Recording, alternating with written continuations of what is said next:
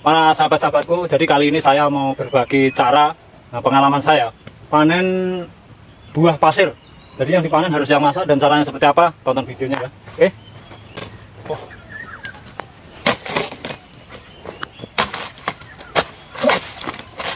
Caranya seperti ini ya bosku. Oh.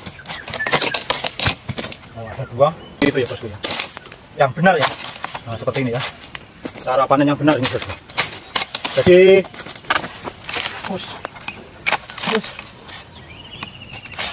caranya seperti ini bosku Uh.